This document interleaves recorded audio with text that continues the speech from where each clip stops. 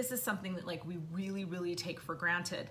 You know, the first person that we generally fall out of alignment with is ourself.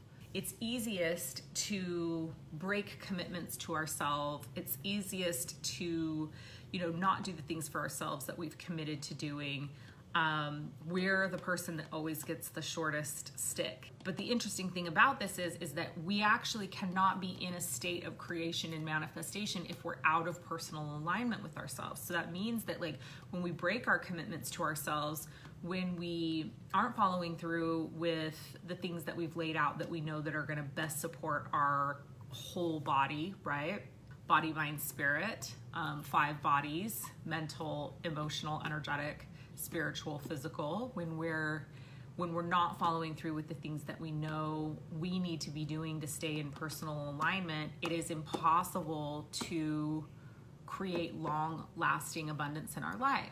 It was interesting because yesterday I just was so tired, and then I went out of my Indonesian lesson and tried to go into a um, call with my video editor um, about some changes that we're making to YouTube, and and I just was like, my brain wasn't working. First of all, like I'd expended so much energy on that live stream, and then I had gone and studied Indonesian for two hours with my tutor who was here, and I just wasn't in a good place. But I was like so frustrated and I like nothing seemed right. Nothing seemed like it was going right. I was like on the verge of tears. I was like, I'm sick of my brand. Like, I don't like how anything looks. And that's not really like me. And I know I love my brand and I like know everybody's doing an amazing job that's on my team, but I just was really like exacerbated and not feeling well. And so I spent a little bit of time journaling after that and asking myself like okay where asking myself this question where have i fallen out of alignment with myself? Um, and the first thing that came up was like once again i've gotten myself into a place where like i'm not taking any days off. And like not taking any days completely off. Like i've been squeezing clients in on off days. I've been doing live streams on off days. I've been like basically working every single day without having a day to completely just reset.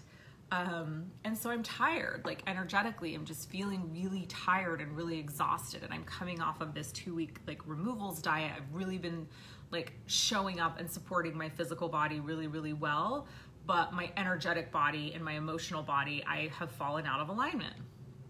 And as a result, like my incoming revenue has been affected not horrendously, not, I mean, I'm still, you know, I'm still on track to have an amazing month this month, but I, but it's like, I can feel it. I can feel that my manifestation ability, my creation ability, my magnetism is off because I'm off, because energetically, I've been breaking commitments to myself that I've been keeping to myself.